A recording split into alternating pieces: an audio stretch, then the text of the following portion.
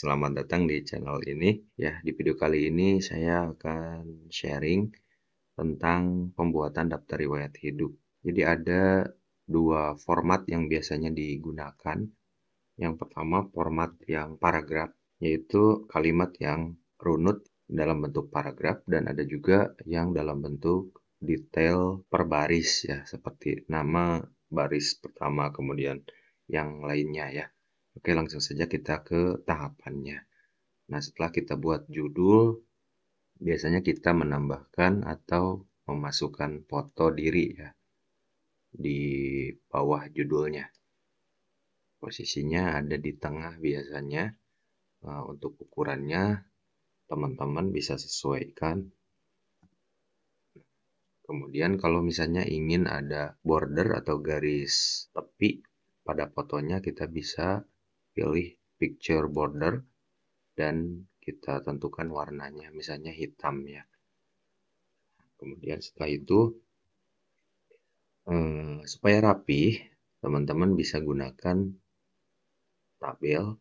Kita insert table kemudian kita buat banyak seperti ini.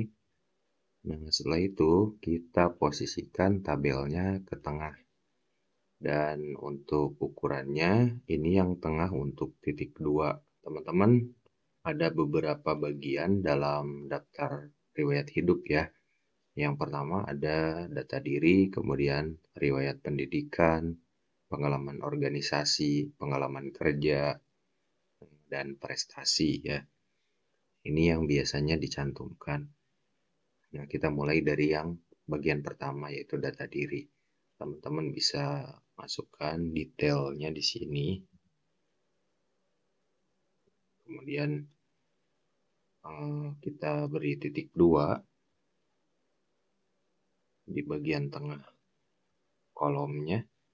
Kemudian kita beri lagi titik dua untuk yang lain. Nah teman-teman di sini bisa isi disesuaikan dengan kebutuhannya ya.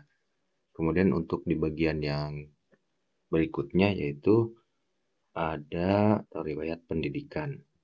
Teman-teman di bawahnya bisa masukkan detail dari pendidikan dasar atau dari SD sampai ke pendidikan yang terakhir. Kemudian di bagian sebelah kanannya teman-teman bisa menambahkan nama sekolahnya ya.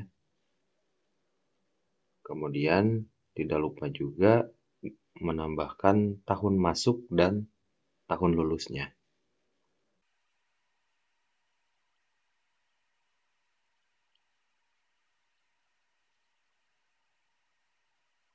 Nah, setelah ini kita masuk ke bagian ketiga, yaitu pengalaman organisasi. Jadi kalau teman-teman aktif dalam organisasi, di sini bisa kita tambahkan ya. Misalnya teman-teman di kampus aktif di HMJ misalkan ya kita bisa tambahkan dulu. Kita draw table supaya posisinya nanti agak menjorok ya. Seperti itu. Nah, di sini misalkan HMJ di apa ini sebagai apa ya dalam organisasi itu. Misalnya sebagai ketua uh, ketua kemudian periodenya kepengurusannya atau kepemimpinannya dari tahun berapa ke tahun berapa ya. Bisa kita masukkan detailnya seperti itu. Ini kita gabungkan. Kemudian selanjutnya kalau masih ada teman-teman misalkan aktif juga di BEM periode kepengurusannya tahun berapa. Nah itu. Kemudian selanjutnya teman-teman bisa tambahkan juga pengalaman kerja kalau memang sebelumnya sudah e, bekerja. Kalau tidak e, kita bisa lewati saja atau kita bisa hilangkan bagian yang dianggap tidak perlu ya ini misalnya tidak ada kita hapus saja Nah, dan yang berikutnya adalah bagian prestasi. Teman-teman misalkan pernah uh, menjuarai uh, kejuaraan apa, teman-teman bisa tuliskan atau ketikkan di sini.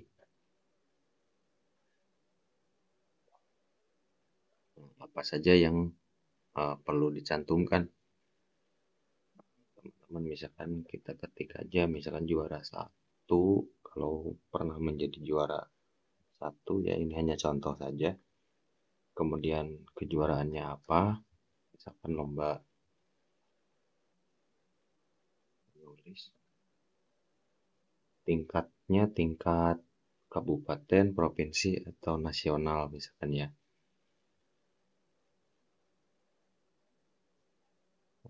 tahunnya berapa tahun berapa?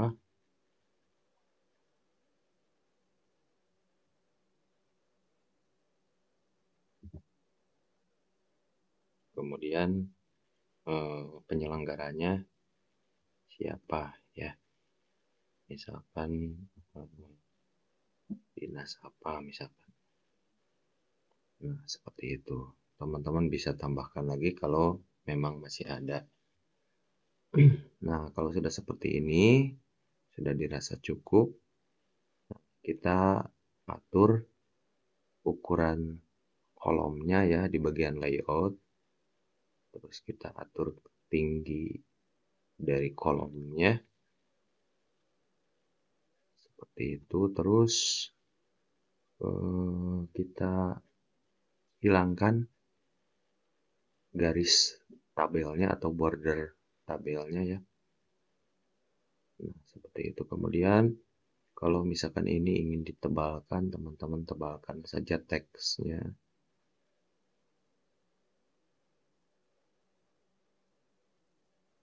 Nah, dan sekarang akan kita lihat tampilannya ya teman-teman.